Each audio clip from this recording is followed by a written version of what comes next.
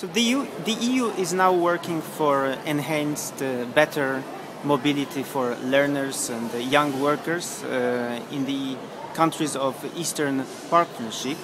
Uh, but what is the benefit for the EU citizens uh, of this drive for better mobility in, in the east of Europe? Well, I think we have a moral and political duty to tighten cooperation with all our neighbors. And since those partners of ours uh, are and will remain our neighbors uh, in any foreseeable future, uh, the fields of people to people contacts uh, will remain one of the main areas uh, for cooperation. And if you come to think about people to people contacts, uh, obviously cross border learning mobility is the main tool um, to address the needs of the young people.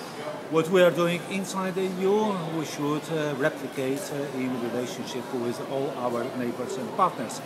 And the benefits, uh, the benefits are numerous, of course, and one should not look at them uh, in a narrow, uh, purely economic way.